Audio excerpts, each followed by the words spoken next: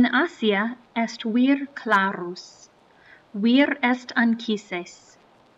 Dea anchisen amat, Aeneas est filius Deae et anchisae.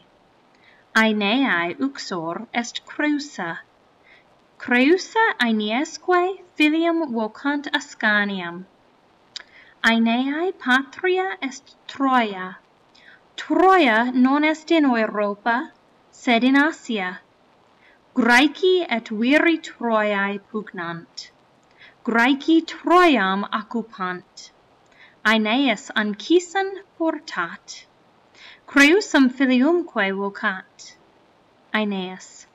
Non iam est Troia, sed Dei Deaeque viros Troiae amant, etiam feminas et pueros puellasque amant. Hodie ad Europam navigamus.